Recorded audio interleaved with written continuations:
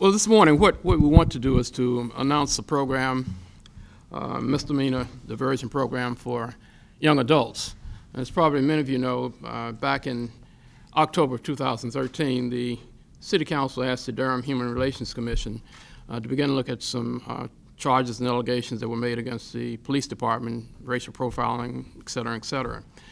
And they took about six months, uh, and I thought they did a very thorough and uh, credible and commendable uh, report. And they pre presented that report back to the City Council in April of 2014. And since that time, uh, the City Council and the uh, Roundtable Reduction Roundtable for Reduction of Violence has been looking at many of those uh, programs that they suggested. And some of them uh, we have implemented, some we're in the process of implementing, and others we're still considering to look at.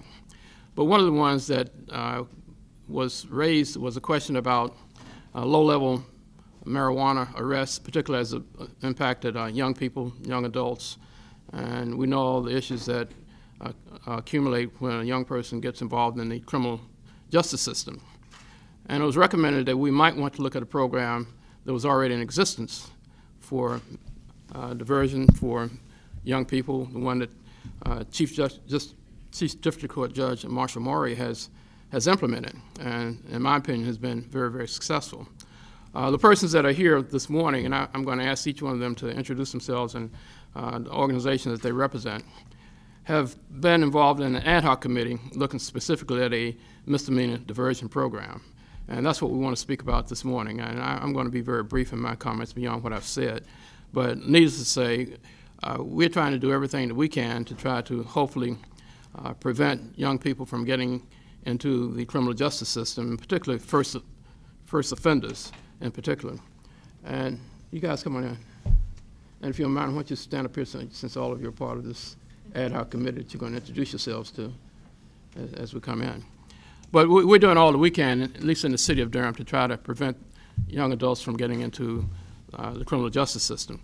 And Marcia Morey, Judge Morey's program really addressed it young people 16 years below. Uh, what you see this morning is that we're talking about young adults uh, and ages 18 through 21.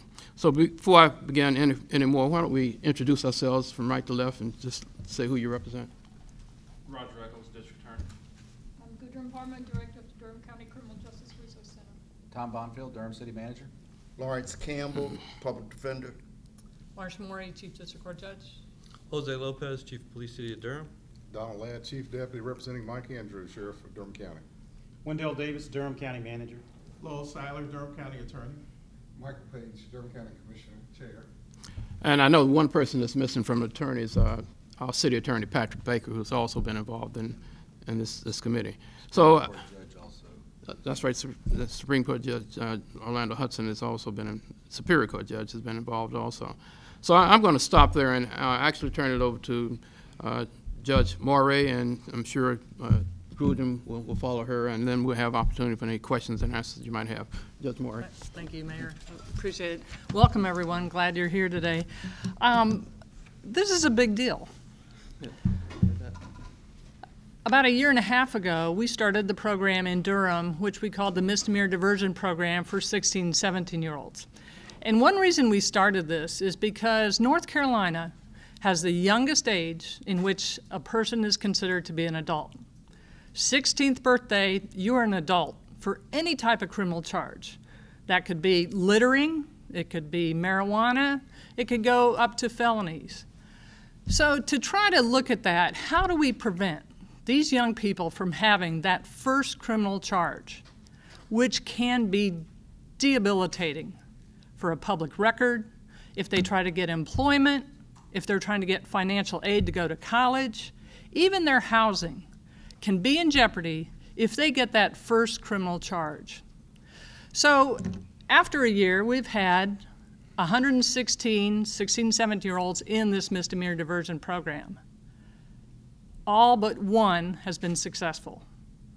We have had a 98% success rate.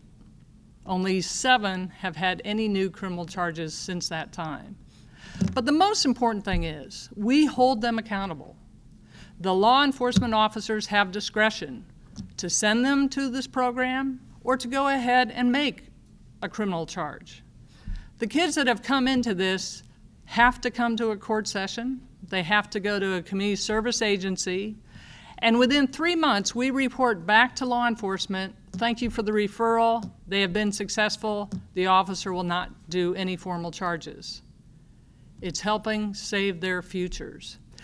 With that, and with the success we've had, with the cooperation of everyone, I mean, this is a joint effort of the city, the county. Uh, it's marvelous to see everyone so involved and understanding. Uh, we want to save these kids, Durham's youth. Now to expand it up to 21 year old for the same criteria. It has to be a misdemeanor. Officers will have discretion. Uh, there will be exceptions. No traffic matters can be referred, no offenses involving firearms, and no offenses uh, with sexual allegations. Basically, we're talking about misdemeanor marijuana. We may be talking about shoplifting, disorderly conduct, underage drinking, minor offenses that have major consequences in these kids' lives. So I'm proud to be a part of this. I really, we couldn't do it without everyone coming to the table and realizing how important it is for the youth of our city. Uh, other districts across the state are looking to expand this into their um, jurisdictions, and we will offer any support because we think it's important for the future of our youth. So thank you very much. Thank you, Judge Morey. And I'm going to ask Gudrun Parmer if she might come up and speak a little bit about her involvement and how it fits into this program. Mayor Bell asked me to tell you a little bit about the nuts and bolts of, of this, com- this new program. And um, the Criminal Justice Resource Center has been providing services to the adult um, population that is involved in the criminal justice system for many years. And one of the programs that we have recently been involved in is the misdemeanor diversion program for 16 and 17 year olds. So this new program is designed and tailored uh, around the, the 16, 17 year old program, but it is not an expansion, it is a separate program. Law enforcement will make contact uh, during an incident and then determine whether uh, this person will meet criteria for this new program. This means no prior adult criminal record, no arrest, no convictions. If the victim agrees, the law enforcement officer will um, refer the, refer the per person to the Criminal Justice Resource Center. The, the, law enforcement officer will complete an incident report and turn it in at um, their agency and the person is instructed to report to the Criminal Justice Resource Center within 48 hours. The Criminal Justice Resource Center staff will conduct an interview, verify the eligibility. We will do another record check, make sure that there is no adult criminal record, and then assign this person to a diversion program. They will also be assigned to a court session. And once a month, we will have a court session specifically for this program where the, the, um, the, the, participants will observe uh, a court hearing and then have a conversation with the presiding judge and court officials around the unintended consequences of an adult criminal record. The persons will have about 90 days to complete a program. We will have workshops that are tailored around the charges that brought the participants to the program. So alcohol and drug education classes, employment, workforce initiatives, mediation and conflict resolution, communication skills, a variety of workshops will be offered.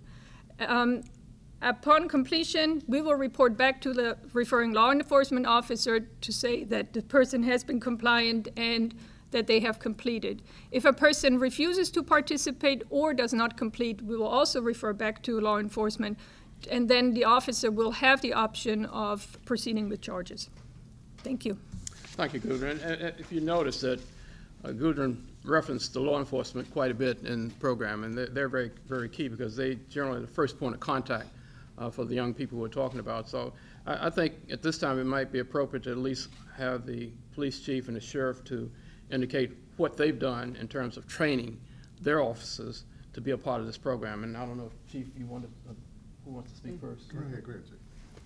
Well, At the Durham Police Department, uh, it's been a a week that we've already started doing online classes uh, for the officers. We've put together a program through our uh, intranet, and that that pretty much explains not only the philosophy that we have based on this program, but also the uh, the method that that they have to use in order to write their reports and refer individuals, uh, and explains the entire program to them. Uh, The training is starting, and we should have 100% uh, completion by the uh, beginning of October, the 1st of October. And we're going to move on, explain to our officers uh, what it is that the police department uh, feels in reference to the, uh, the diversion. It's been our philosophy that whatever we can do to minimize arrest, especially for individuals who make the mistake that I think everyone in this room possibly have made in their lives that could have caused them to have a negative interaction with uh, law enforcement, that in fact, uh, an opportunity is given so that these individuals can redirect their lives and hopefully not have uh, any other issues uh, occur and they can move on with life. So that's basically where we're at. Sheriff's? Mine's gonna be very simple, everything he said. Um, we, we've got going on within our agency as well. Um, and I want to reiterate that point of a mistake and a path, uh, or a process now, um, to solve that mistake. Thank you. I don't know if anyone else wants to step up and make any comments. Uh, If you do, feel free. If if not, then we're open for any Q and answer questions.